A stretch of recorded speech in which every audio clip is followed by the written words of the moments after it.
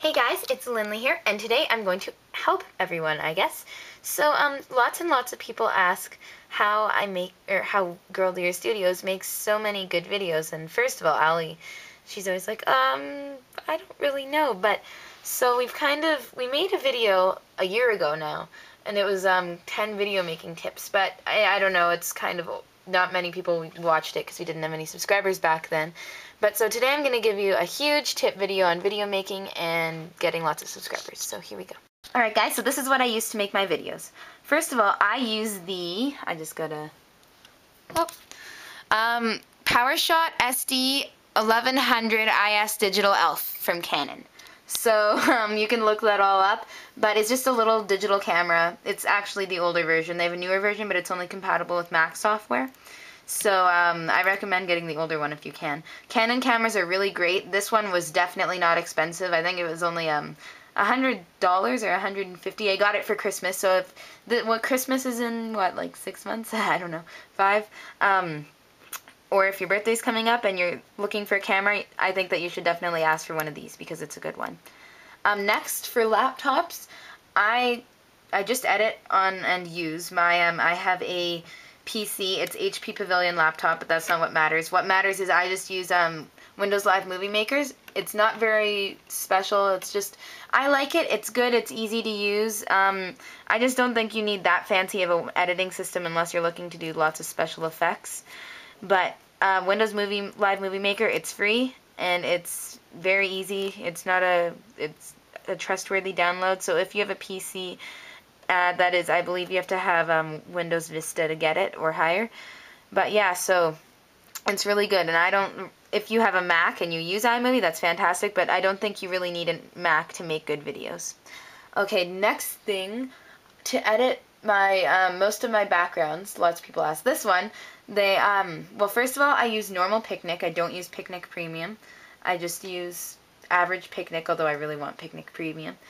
Um, I take my pictures with my camera, and then in order to put a bunch of pictures together, I just use Windows Paint. It's very easy. It's on all PC computers. Just dig around for it, and you'll find it. And yeah, you just put all your pictures in. You can crop them, and it's very good. But I don't know what to use if you have a Mac. But you can use Picnik Collage too. Alright, so next I have um, just a couple little things that I've learned to gain popularity. Um, so, a lot of people ask, how do I get good uh, popularity and make good videos? Well, I'm going to give you 10 video making tips in a bit. I've already made the same tips in a video before, but um, I think I should redo it. So, um, first of all, I just like to say, first of all, make a catchy looking channel. So, um, you should get a brightly colored icon, I would say, and make sure it's like a picture you've taken or one that you can use permission that someone's taken of your AG dolls or something like that. Because I know that I always go to click on cool looking um, icons, often ones that almost make dolls look like they're real people. I don't know, those just catch my eye, like your doll standing in their room or your doll relaxing on the beach. Just something cool like that always pops for me. And then really colorful and bright. Or good photography. Um, then also make a background image that's exciting and uh, make colorful videos. Like you notice my videos are often shot in my doll room. And one thing that's good about it is there's a green and pink wall, very bright. There's the colorful bedspread, little dolly things.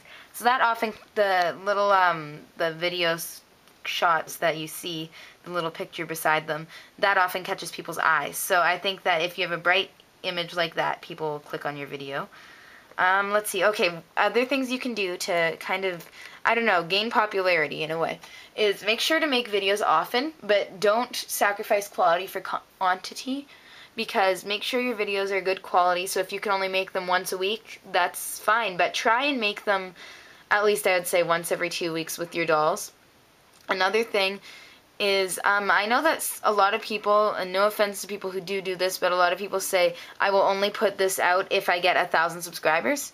I really don't recommend doing that because I know sometimes I get a little sick of people doing that. I think, ugh, now I have to wait. And it's almost like a bribe, so I don't really recommend doing things like that. Um, and then another thing you can do, it really is just make friends. Like, make friends with people on YouTube, get friendships, and put yourself out there and just kind of make sure to have people with you on the way. And then another thing you can do is comment on lots of videos. Don't comment saying go to my channel, but just put yourself out there and make sure people see you all the time so you can write lots of channel comments just complimenting people and things and make sure to be nice and don't cause drama alright now I'm gonna make a crash course video of 10 video making tips and there's a much better one with lots of examples in the um, around the video and in the uh, little box thingy underbar so here we go my good old 10 video making tips. Um, number one, lighting is key. So make sure to make your lighting, um, make sure to make your videos really bright.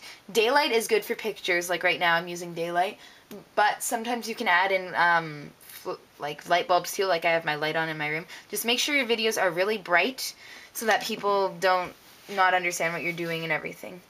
And use bright colors too, that kind of adds to lighting. Just like I said before, bright colors. Next is the um, costumes and hair are very important. So as you can see, my dolls are always wearing, and watch for fashion tips with Kate, that should be very soon. Um, they're always wearing matching outfits that are bright and colorful. They are always have their hair done. It's just good to have neat, clean looking dolls because when people have messy dolls that are wearing underwear in most of their videos, I tend, I don't know, that bothers me and I don't tend to watch them as often. So yeah, just make sure your dolls are very presentable. Next up is clean, sensible settings are neat, a must. So, um, sorry I wrote this weirdly, but try and make your videos in, like I said, a bright, colorful setting, but don't make it too crazy. Like, don't film it in front of, I don't know, a really gray, boring area with lots of garbage laying around or toys or clothes. Just try and find a clear space, like right up against a colorful wall, like so just don't do it against, I don't know, something that you wouldn't find very pretty, I guess you could say. Um, like clutter. Next is avoid long and unactive scenes, like um, scenes where the conversation just goes on and on and on and on and on, because people will tend to leave your video after that. I know I do. Um, so just try and make your dolls moving around as much as you can and changing, because even if you have a lot to talk about, as long as they're moving around, it's just a lot more interesting. Next up is steady the camera, and this is part of stop motions too. Try not to make your videos moving around a lot, like this is very annoying, I guess. If you hold your camera still, it's much easier to watch, and plus in stop motions, you don't want it to be like this. So, uh, steady the camera, put it on a box, on a tripod, on anything works. Or even just rest on your knee like I am. Next is talk really loud so people can hear you and understand you and they don't have to turn the volume way up unless you can't. But talk loud and be exciting in your voice. Don't be like, well, I guess uh, this is my video. No, be like, this is my video, and I'm very excited for you guys to see it, and I hope you watch it, because I put time into making this, and yes, so watch my video, please. Like that. Next is try and keep your hands and feet out of the pictures as much as you can, because we want there to be an illusion that the doll is really alive and talking, so you don't want to kind of just, when you're moving them, try not to show your hand like this it's better if you grab by the ankles if you're showing the top half. Or you know just make sure to grab them in a way. Or when you're turning their head kind of cut the top half of their head out. I guess I saw you could see my finger there. But just try not to show your hands. All right next is have everything that you're gonna need close to you. So if um, Lindley needs I don't know the this is a good example right here. If she needs the iPod make sure to keep it like right on the floor beside you so you can grab it right away. Don't if keep it like way, I don't know, somewhere, and then you go, oh crap, where is it? Um, found it. No, you don't want to do that. So keep everything you need close to you.